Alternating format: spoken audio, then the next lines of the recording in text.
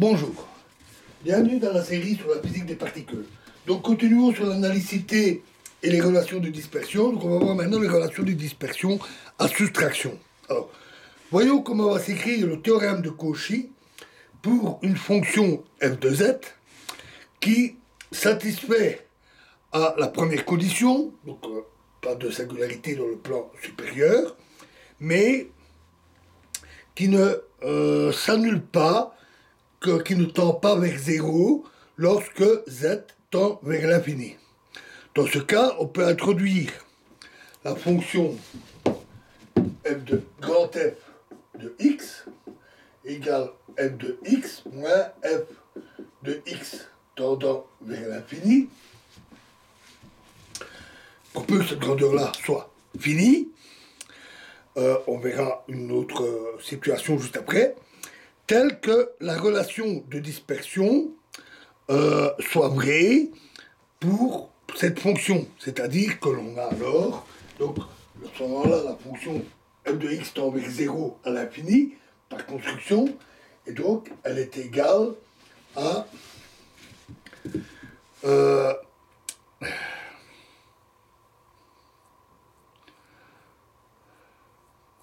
1 sur pi intégrale moins l'infini à plus l'infini, de imaginaire, partie imaginaire de x' dx' grand F de x' divisé par euh, x' moins x0 moins i epsilon.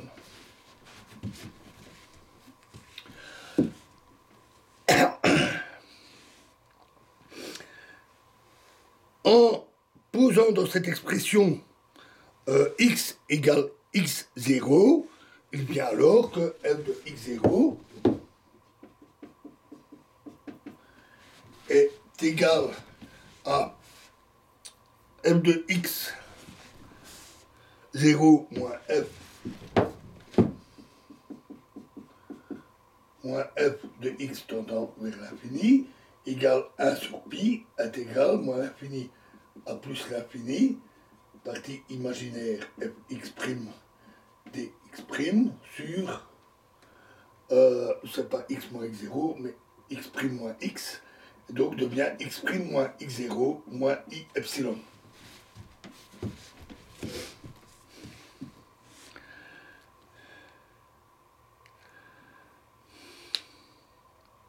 Alors, en retranchant terme à terme les deux expressions, on trouve que f de x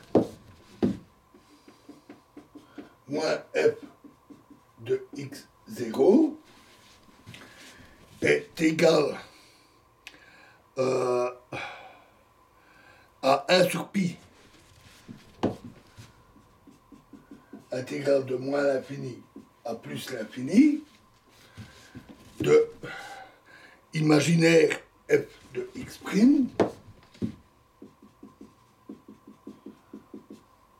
dx' fois 1 sur x' moins x moins i epsilon moins 1 sur x' moins x0 moins i epsilon.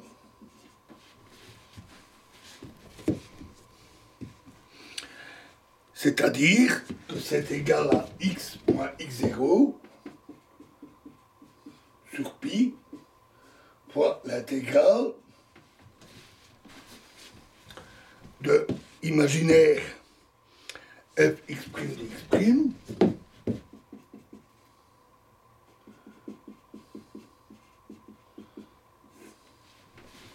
sur x' moins x moins i epsilon fois x' moins x0 moins i epsilon. Si on tient compte du fait que la constante f de x tendant vers l'infini est une grandeur réelle, alors f de x moins f de x0 est égal à x moins x0 sur pi fois toujours cette intégrale fois imaginaire, cette fois-ci de petite, petit f exprime dx prime sur toujours le même dénominateur. Et donc, on n'a plus que la fonction petit f, on n'a plus la fonction grand f qu'on peut voir comme une fonction auxiliaire.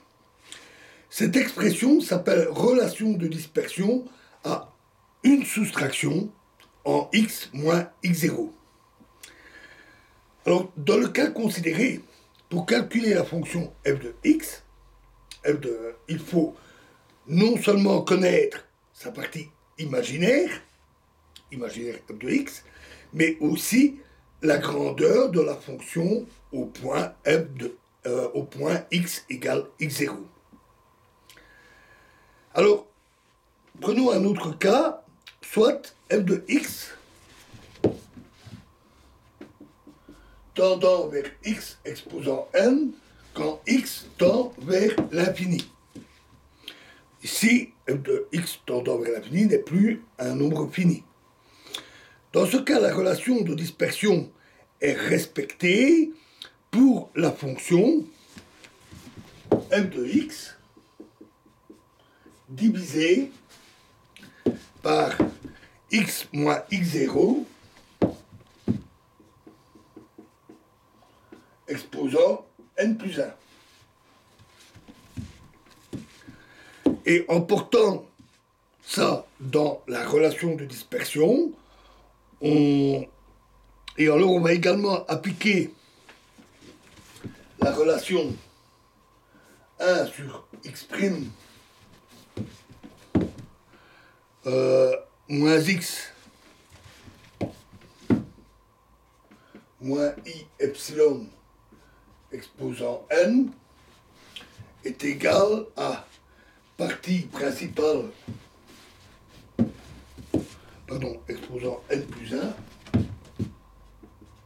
est égal à partie principale de 1 sur x' moins x exposant n plus 1 moins pi fois moins 1 exposant. N divisé par n factoriel. Fois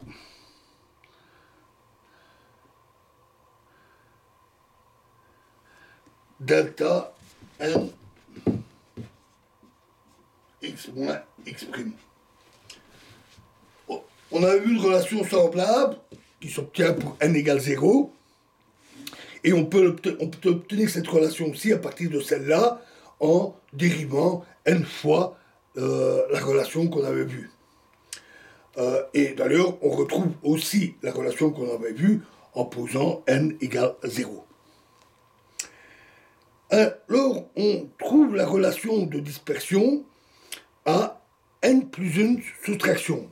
Donc après un peu de remaniement, on trouve que la partie réelle de f de x est égale à x moins x0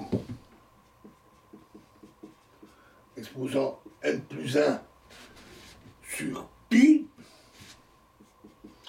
fois partie principale. En fait, il suffit de rajouter les i epsilon que je ne vais pas écrire ici intégrale de moins l'infini à plus l'infini de imaginaire fx' dx'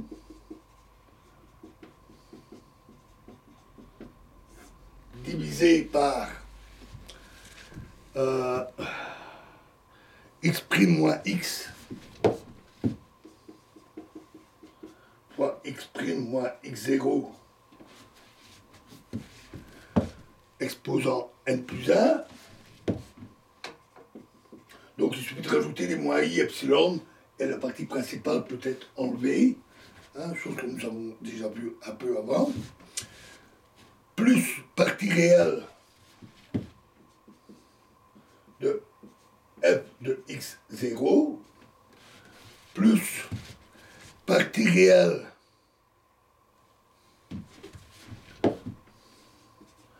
f' en x0 fois x moins x0 plus etc.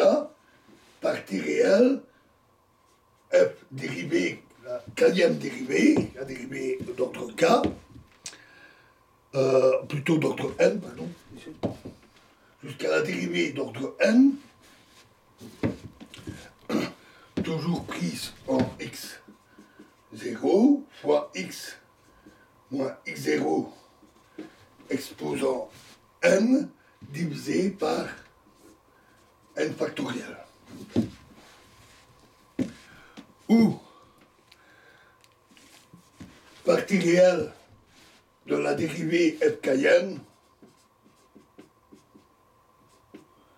prise en x0 sont les fonctions dites de soustraction.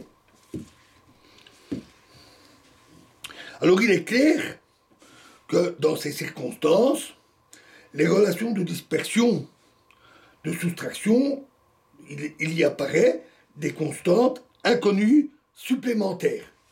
On avait la valeur de la fonction en x0, ici on a toute une série, avec toutes les dérivées. Alors, ces constantes sont d'autant plus nombreuses que le nombre de soustractions est plus grand. Alors voilà pour euh, ces, cas. Et dans la prochaine vidéo, nous parlerons d'un aspect important, nous parlerons du prolongement analytique. Je vous remercie.